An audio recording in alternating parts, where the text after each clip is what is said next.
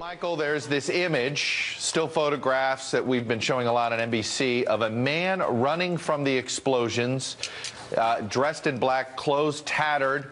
What are officials telling you about this image and whether this person is a new suspect or was this the person that they questioned for the last couple of days?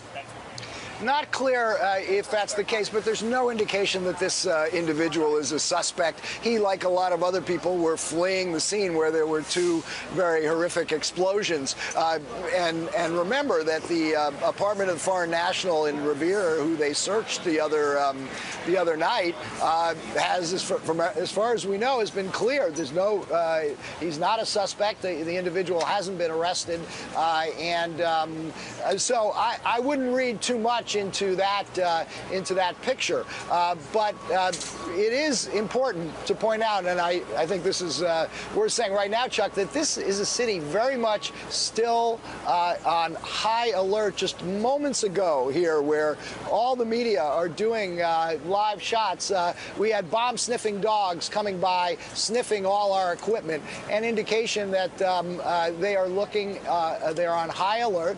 And to state the obvious, uh, there have been no arrests, no identifiable suspects yet, uh, which means that there are a uh, there is a terrorist bomber or terrorist bombers on the loose somewhere in this area. So there's uh, legitimate reason for concern.